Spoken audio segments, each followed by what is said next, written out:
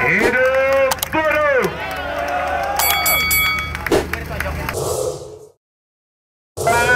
sesuaikan dulu aturan main membentuk undang-undang. Yang diatur dalam undang-undang tentang pembentukan peraturan perundang-undangan. Yang sering kita singkat kita sebut undang-undang P3 undang-undang P3 mengatur bagaimana cara membuat undang-undang.